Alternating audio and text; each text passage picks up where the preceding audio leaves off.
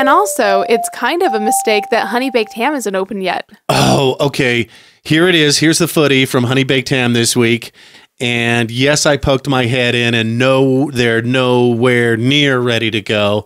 I thought they were going to open November 11th for certain, November 12th for some reason. That's what I'd heard. Now I'm hearing it's December 12th or something. I was ah. so hoping for a honey baked ham for Thanksgiving, but instead we'll have to wait till Christmas. Totally bummed on that one. That sucks. And if you haven't had honey baked ham yet, it's amazing. I never have. oh, it's wow. I'm really excited to try it. and I think one of their gimmicks is they put a little brown sugar on the outside, and the guy actually sits there with a welding mask and a blowtorch Oh, that's hot. and glazes Literally. it, it like he's behind a window so you can see it. It's Oh, sort of man. their display. So it's kind of like Krispy Kreme. Uh, yeah, exactly right. You can see it being honey baked. Yeah. Oh, yeah. man, You can or- see it getting crispied. That's how they finish it off or something. But it makes the best split pea soup of all weird things to do with leftover ham Okay, that actually makes a lot of sense though. because the ham is a little sweet. Sweet. Uh huh. Yeah, it's, so good.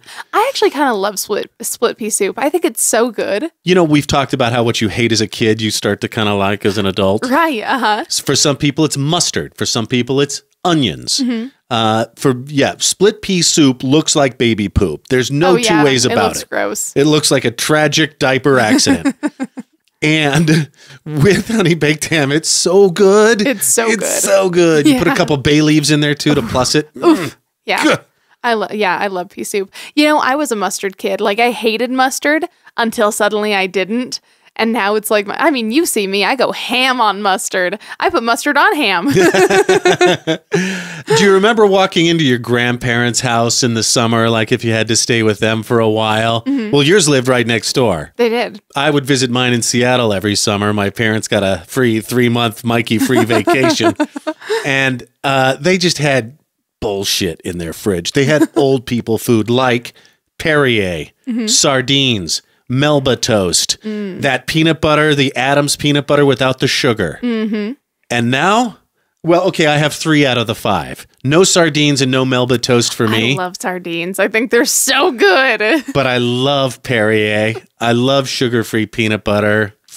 Yeah, my grandparents weren't like that at all. My pa- my grandparents always had the really good snacks that my Oh. parents didn't have. Like my grandma always had toaster strudel. Oh my gosh, I would die for toaster Those are strudel. they were my mom refused to buy them probably because they were kind of expensive. Your parents got Pop Tarts. Your grandma got oh, toaster Oh, strudel. my parents wouldn't even buy Pop Tarts. your parents got Little Debbie. Your grandma got Hostess. Right, right. Yeah, no, my parents would They wouldn't never- even buy Pop Tarts. No. Oh, No, my brother and I would have to use our own money that we, I don't know, somehow got. We didn't get an allowance, so I don't know how we ever had money. mom's purse. No, we didn't steal any money either. I think we'd like sometimes I'd ask my mom for 20 bucks to go to the mall and then I'd spend as little possible so I'd have spending money later. Smart. Yeah.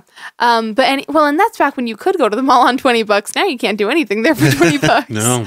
So, you know, anytime I'd go over to my grandma's house, she'd always have like soda pop in the basement and she'd have um toaster strudel and pop tarts and uh oh, hot pockets. Oh, she always had hot pockets. They were so good. And you know what else she had that I loved? She had that uh dried mango from Costco. Oh yeah, that's good stuff. Yeah, yeah. She and that was before we had a Costco. So she'd have a friend pick it up. I actually think it was my uncle uh, pick it up in uh, Pocatello whenever he was down there and bring her some. Wow. And I would just go in and just steal a whole bunch of it and sneak around with it. And she got so mad because she's like, I can't just get that any old time.